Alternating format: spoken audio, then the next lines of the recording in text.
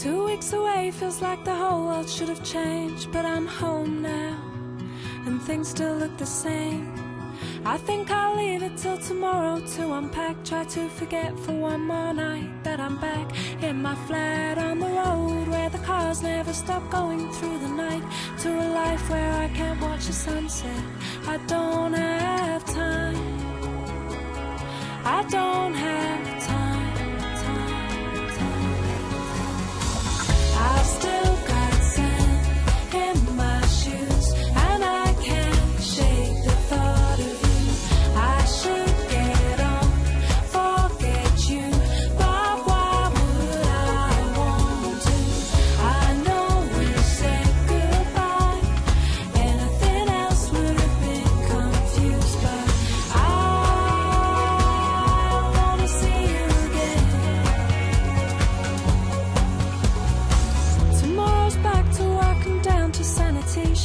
about